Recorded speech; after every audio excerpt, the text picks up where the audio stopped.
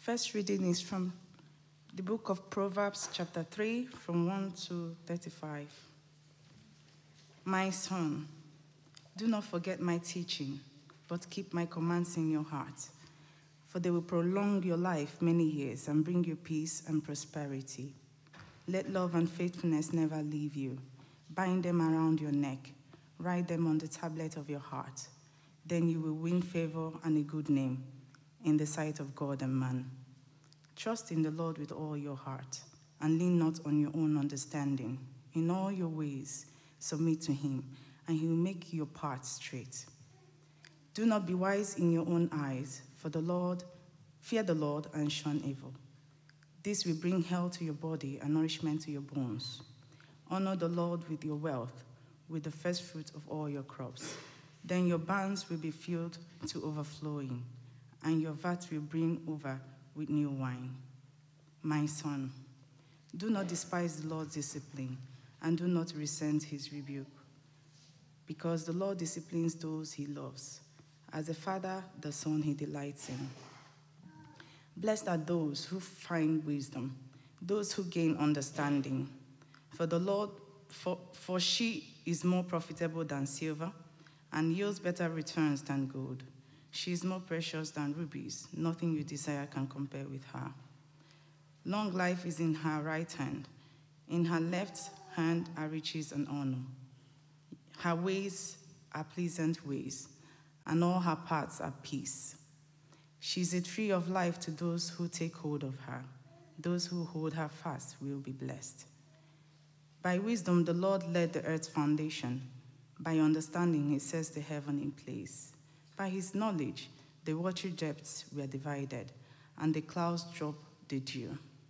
My son, do not let wisdom and understanding out of your sight. Preserve sound judgment and discretion. They will be life for you, an ornament to grace your neck.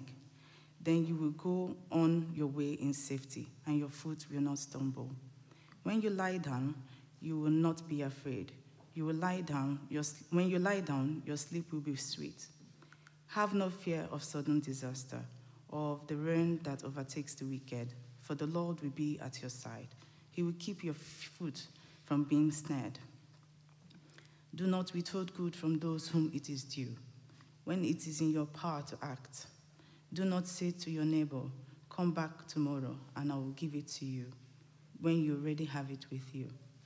Do not plot harm against your neighbor who lives trustfully near you. Do not accuse anyone for no reason when they have done you no harm. Do not envy the violent or choose any of their ways, for the Lord detests the perverse, but takes, up, takes the upright into his confidence. The Lord's curse is on the house of the wicked, but he blesses the home of the righteous. He mocks proud mockers but shows favor to the humble and oppressed. The wise inherit honor, but fools get only shame. This is the word of the Lord.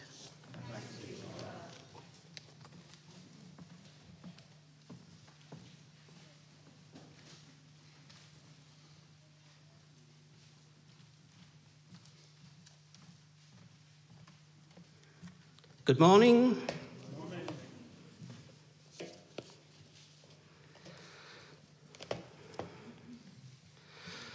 Submit yourselves to God. What causes fights and quarrels among you? Don't they come from your desires that battle within you? You desire, but you do not have, so you kill. You covet, but you cannot get what you want, so you quarrel and fight. You do not have because you do not ask God. When you ask, you do not receive because you ask with the wrong motives, that you may spend what you get on your pleasures. You adulterous people, don't you know that friendship with the world means enmity against God? Therefore, anyone who chooses to be a friend of the world becomes an enemy of God. Or do you think Scripture says without reason, that he jealously longs for the Spirit he has caused to dwell in us. but he gives us more grace. That is why Scripture says, God opposes the proud, but shows favor to the humble. Submit yourselves then to God. Resist the devil, and he will flee from you. Come near to God, and he will come near to you. Wash your hands, you sinners, and purify your hearts, you double minded. Grieve, mourn, and wail. Change your laughter to mourning and your joy to gloom. Humble yourselves before the Lord, and he will lift you up. This is the word of the Lord.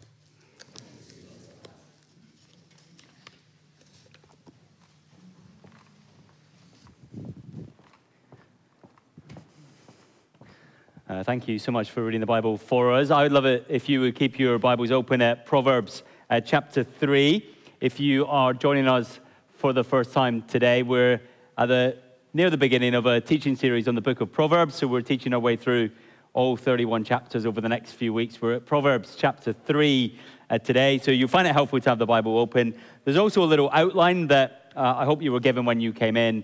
Uh, many of our church family love to have it just beside them to guide their uh, thoughts as we go through it. Sometimes people scribble some comments, uh, some notes. Do take it with you home so that you can continue to dwell on what God says to us. Uh, let's have uh, a time of prayer. Let me pray for us as we prepare to hear God speak uh, through his precious word. So let us pray. Lord God Almighty, we long to be humble as we submit ourselves to you afresh. We pray that we would indeed submit ourselves to your voice that we would long to hear it, we'd long to receive it, uh, we long to hear your gracious words. Uh, many of us um, in our families, in our lives, within ourselves, we experience much brokenness. And so, Father, we pray that we'd hear the tender voice of the Savior as he continues to heal us and knit us together to be more like him. So, help us by your Holy Spirit, we pray. Amen.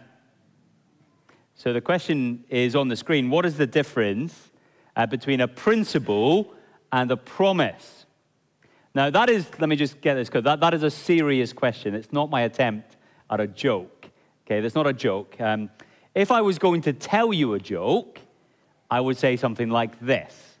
Okay, here we go. This is the joke. Uh, what is the difference between a piano and a tuner? You can tune a piano, but you cannot piano a tuner. Dudum. You ready? One more? Here we go. What's the difference uh, between a cat and a comma? One, someone wants to be up here doing this, doesn't it? So, one has claws at the end of its paws, and the, this is basically a grammatical joke for you, Betty. And the other is a pause at the end of a clause. Dudum. Moses, you should have been at the drums at that point. No, he's shaking his head. Okay, let's move on. That's, that's the joke telling. Right, what I'm asking this morning uh, is not a trivial question at all, is it? In fact, far from it. Uh, in a complicated world, um, it is vital to know the difference between a principle and a promise. And that is particularly true if you're a person of faith and you want to remain confident in the goodness of God all the way through your life. Now, that's different from clinging on to the existence of God. It is clinging on to your confidence in the goodness of God, regardless of the circumstances that you face. So, what is the difference? Well, here is the difference. A promise, a promise is a firm commitment from someone to do something for someone else. It is a firm commitment, it's a promise. I will do this. You can rely on it. This will be the outcome because I am promising to do it. And you know as well as I do that promises are vital in relationships. And some of you know the hard way, the painful way of what broken promises do they have devastating consequences in personal relationships. So promises matter, Broken promises are devastating, but the idea of a promise is a firm commitment that achieves a certain outcome. Now, a principle is different. A principle is a statement about something that is likely to happen in most circumstances if we make certain decisions. That is a principle. This is likely to happen, but the outcome is not 100% guaranteed. You always find exceptions to the rule. That's different from a promise, isn't it? Principle and promise. Now, there are all sorts of principles that we talk about in life. Uh, if you go and see a medic for a, a, checkup, I'm of that age now where text messages appear on my phone and say, You now need to go for this check because you have reached this fine old age. Or they don't quite call it a fine old age, do they?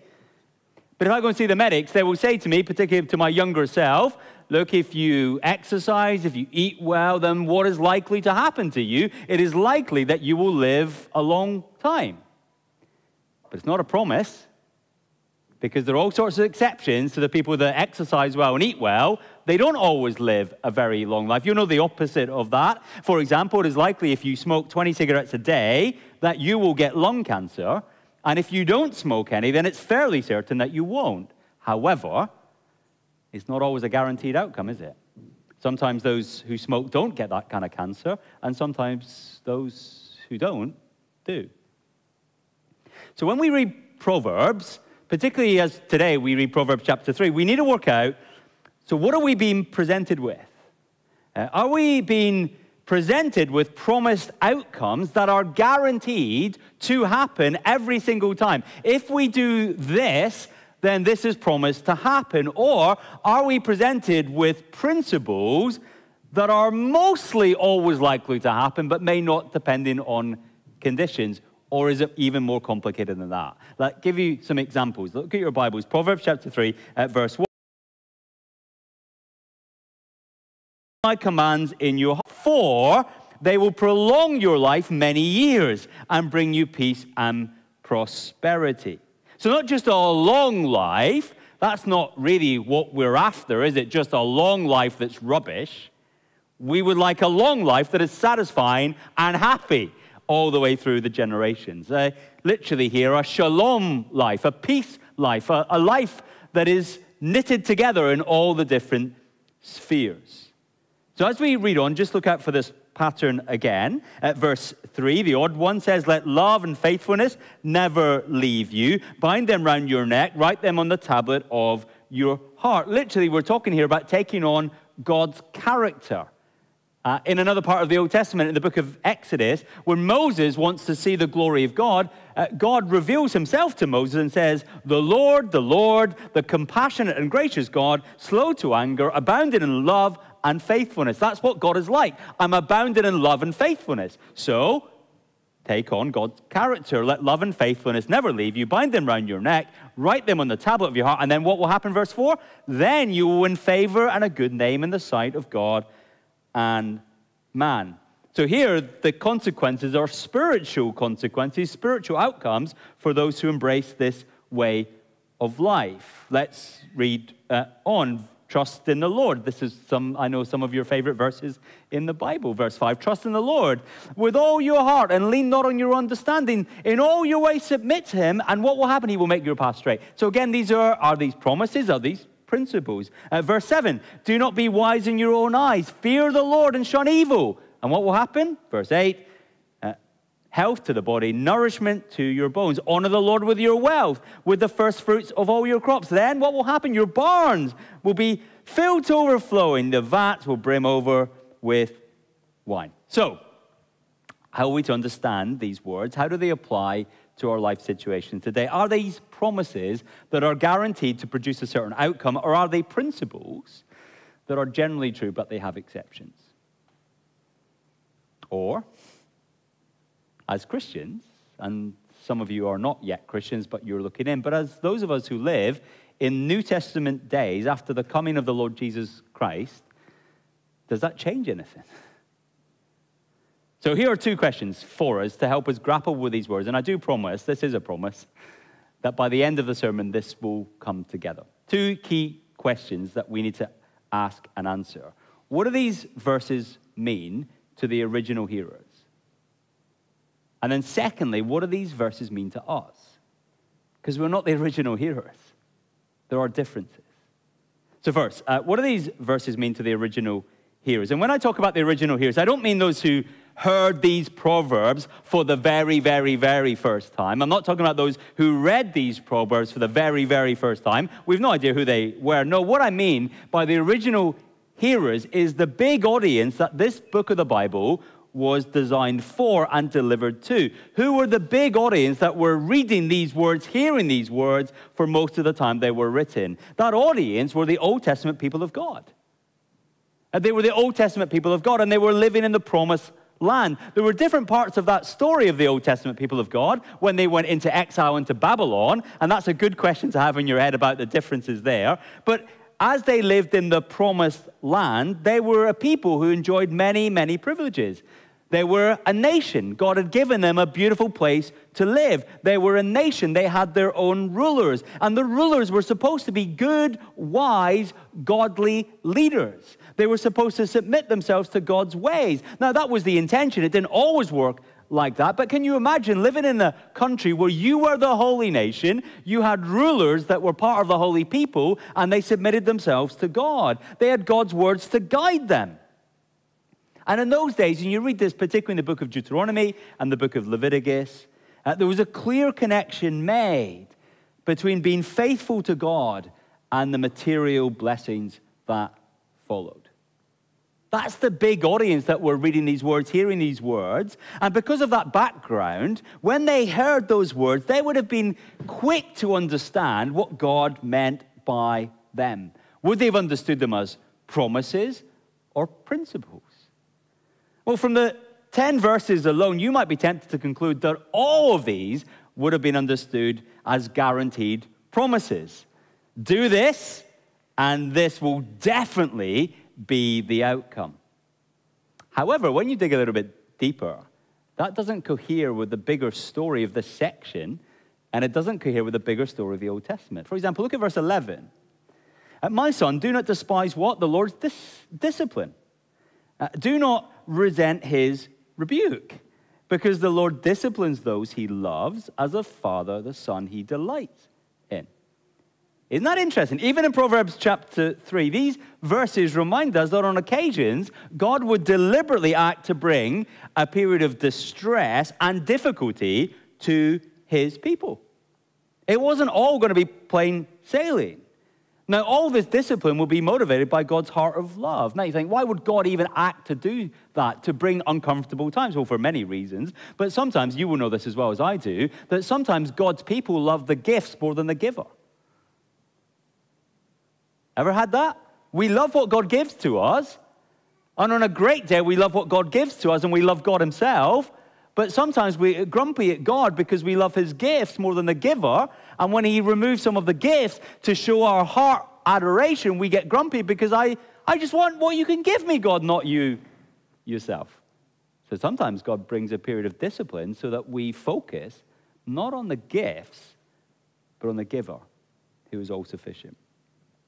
And sometimes God sends these things because occasionally God's people value good things more than great things. Uh, for example, comfort. It's a good thing, isn't it? I don't get up in the morning, I don't think you get up in the morning and say, Dear God, give me an uncomfortable day. Do you? God, make it as difficult as possible. No, I enjoy my comfort, but comfort's not the ultimate thing. Holiness is more important than comfort. But often in my life, I treasure comfort more than holiness. But holiness is for my ultimate good. So in his kindness, God sometimes brings period of discomfort so that I will become more holy. So you see, even, even, in this, even in this chapter, we're told that it isn't always do this and it'll be rosy. Uh, but what about the book of Job? That's in the Old Testament, the book of Job. Job lost all his property, his children died, and he suffered great physical agony. Why? We hadn't done anything wrong. Uh, you, you read the book of Job, we know that he is a man of faith and faithfulness. And then all his friends come and come round him and they give him all that friendly advice. Job, let me tell you, you must have done something really bad. Let's have a chat and see how wicked you really are. Oh, why not stay longer? Again and again, they give wrong advice because their mindset is certainly if you're good, you get good outcomes. Bad outcomes, you must be bad. And it's more complicated than that. The book of Job. Or, or what about um, Psalm uh, 73? I think it's one of my favorite Psalms. Uh, you might want to flick open to it. I want to read some of this stuff. Okay? This is the Old Testament. Psalm 73. Here's the opening verse. Verse 1 Surely God is good to Israel, to those who are pure in heart. There's the opener. Verse 2 But as for me, my feet had almost slipped. I had nearly lost my foothold. Why? For I envied the arrogant when I saw the prosperity of whom? The prosperity of the wicked. They have no struggles. Their bodies are healthy and strong. They are free from common human burdens. They're not plagued by human ills. Therefore, pride is their necklace. They clothe themselves with violence. From their callous hearts come iniquity. Their evil imaginations have no limits. They scoff and speak with malice. With arrogance, they threaten oppression. Their mouths lay claim on heaven, and their tongues take possession of earth. Therefore, their people turn to them and drink up waters in abundance. They say, How would God know? Does the Most High know anything? This is what the wicked are like. Always free of care, they go on amassing wealth. Now, in his head, he's going, This shouldn't be. Surely that's not how it works. Surely you do good, you get good stuff. But he's looking at the reality of the world around him and he looks at the wicked and they're prospering. And he's struggling. So he keeps on going. Surely in vain I've kept my heart pure, washed my hands in innocence. All day long I've been afflicted, and every morning brings new punishments. If I'd spoken out like this, I would have betrayed your children. When I tried to understand all this, it, tr- it troubled me deeply. And here's the key turning point. Till I entered the sanctuary of God, then I understood their final destiny. Bang. But you see, from a human point of view, it wasn't as simple for the Old Testament people of God as saying, if you live like this, you'll prosper, and the bad will not. So, as they were looking at these words, not everything was promises, and not everything was principles. As you read through uh, to the Old Testament people of God, the spiritual outcomes that are described in Proverbs chapter 3, they're all promises, but the material outcomes, they're not promises, they are principles because sometimes it doesn't work out that way, even when they're being faithful. Okay, there's the Old Testament people of God, but we're not Old Testament people of God. So, what about us? What do these verses mean to you and me? How should we engage them? You might be a Christian or you may be someone looking in, you're thinking about following the Lord Jesus Christ, you need to get your expectations right. So, what do they mean for people today if they have their faith in the Lord Jesus Christ? Well, to answer this, we need to consider what difference. I did this for our young people earlier before the service. I said, when you move from the old to our position now in the New Testament, you've got to realize that one significant person has arrived that has changed everything. And yes, it is the answer you all think it is the Lord Jesus Christ. He has come, He has arrived. So we've got to think what does the arrival of Jesus do? What difference does it make to how we understand Proverbs chapter 3? You know something? In the New Testament, Jesus is presented as the perfect, wise man. He is wise. Everything about wisdom that we read in Proverbs is lived out by the Lord Jesus Christ. Uh, we're told in Luke uh, chapter 2, when he was growing up, uh, Luke chapter 2, verse 40, the child Jesus grew and became strong. He was filled with wisdom, and the grace of God was on him. Later on in uh, Luke chapter 2, do you remember when he goes to the temple? He's 12 years old. His parents leave him behind. what a great moment that is as a parent. Where is he? You got him? No. You? No. He'll be back somewhere with the others. Anybody got him? No. A day to recognize they don't have their kid. A day to go back and get him. And he's at the temple, 12 years old, and he's talking to all the different religious teachers. And this is the conclusion. After three days, they found him in the temple court, sitting among the teachers, listening to them and asking them questions. Everyone who heard him was amazed at his understanding and his answers. Uh, when he grows up, Matthew chapter 13, uh, coming to his hometown, he began teaching the people in their synagogue, and they were amazed. And this is what they say Where did he get this? Wisdom and these miraculous powers. So, Jesus Christ in the New Testament, if you're looking for the ultimate fulfillment of wisdom, you look at the Lord Jesus Christ. So, here we go. What was the outcome of Jesus' life? Did he have a particularly comfortable, pain free life? Not if you read the Gospels. Did he have an extended life, a long life, with lots of material wealth? No. He died at 33. During his life, it was said he had nowhere to rest his head. He's the wise man. So as you read Proverbs chapter 3, and you read the outcomes, let's accelerate to Jesus and let's go, hang on a minute, what's happening now?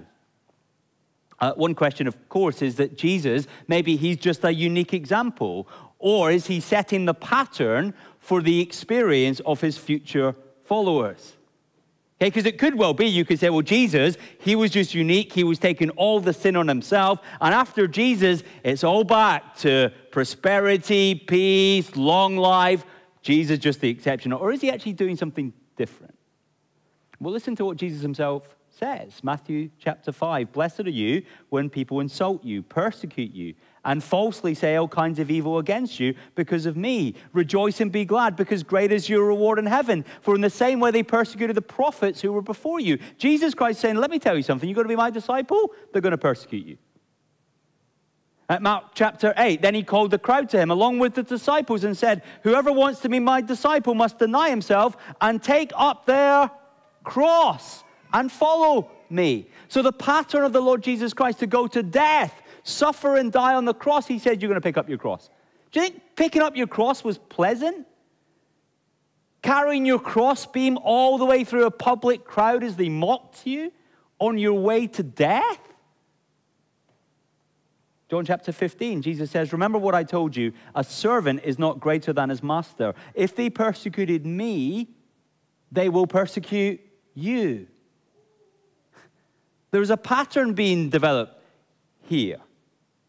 And one of the biggest reasons, I think, for why this is the new reality and one of the biggest changes from the Old Testament people of God to the New Testament people of God is what we find at the end of Matthew's gospel. So, Matthew chapter 28, remember the, after the resurrection, uh, Jesus uh, says, All authority on heaven and on earth has been given to me. And then he says, Therefore, go. Go and make disciples of all nations, baptizing them in the name of the Father and the Son and the Holy Spirit, teaching them to obey everything I've commanded you, and surely I am with you always to the very end of the age. Now, what is the change that has happened for the New Testament people of God? In the Old Testament, as you live faithfully to God, you were part of this holy nation, and yes, other people could join, but they had to come to you. They were drawn to you. But after the death and resurrection of the Lord Jesus Christ, he gets his disciples together and he says, from this point on, it's going to be different. People are not going to come, you're going to go. You're going to go. God's people are not to stay, but to go. And here's the difference. When you were in the Old Testament, you lived out your faith in a holy nation. In the New Testament, we live out our faith in a hostile world. And that changes everything. you are now to be the wise person, a servant of the Lord Jesus, not in a nation where everyone's a person of faith, not when all the rulers are people of faith, but you go to hostility. Uh, Pastor James and I were just talking before the service, and he said something that really struck me. I hadn't had it in my notes, but of course, in the Old Testament, when you look at wisdom in action, what happens when they're in Babylon? Well, sometimes the people of wisdom get exalted to high positions, but sometimes the people that live righteously get chucked to the lions.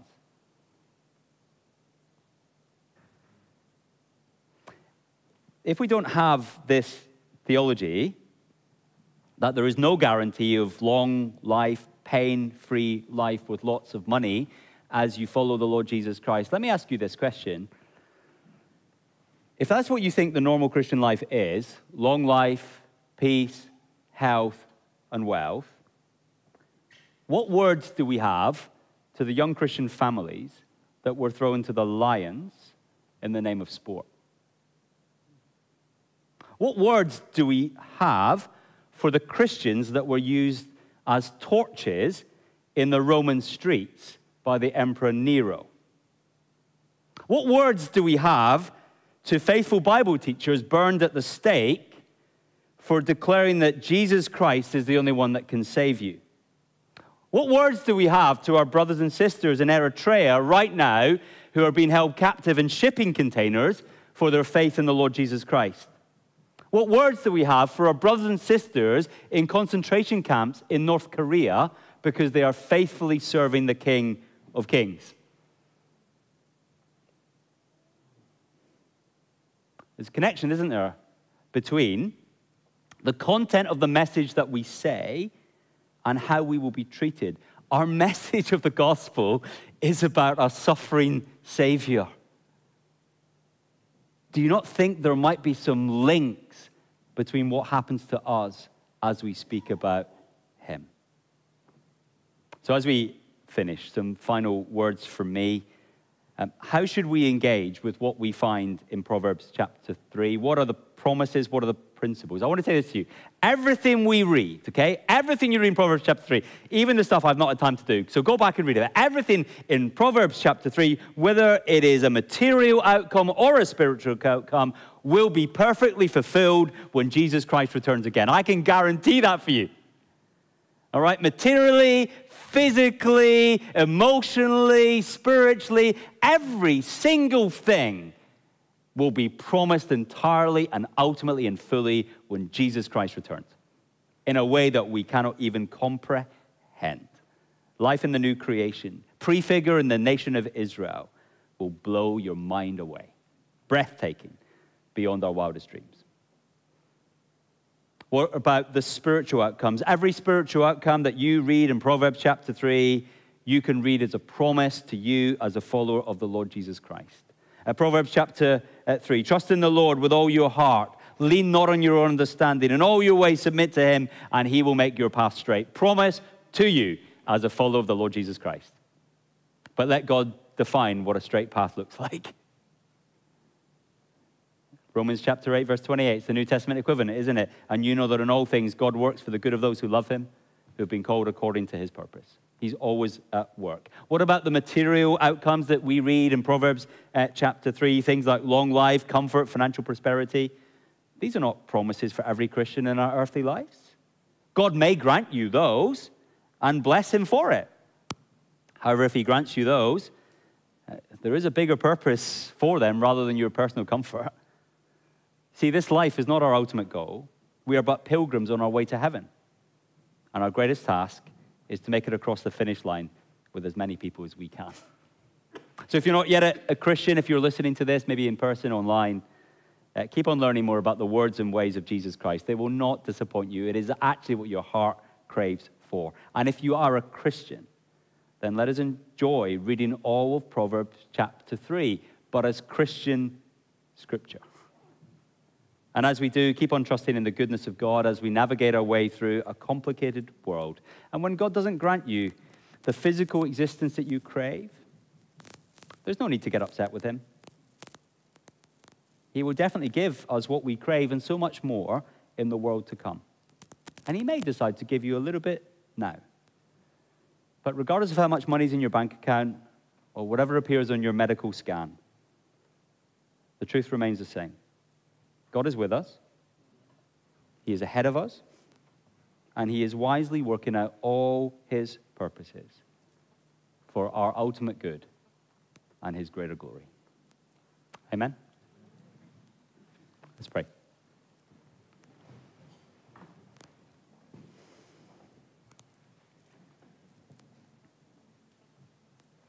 Father, we are aware that there is a real depth to understanding these words, and we crave your understanding and wisdom. Uh, we pray, Lord, that we would never let go of your goodness And so help us to treasure the promise that you're always working things out in every detail for our greater good and for your greater glory. So fill us afresh with your spirit, we pray, so that we can believe these words and live them out each day for the glory of Christ. Amen.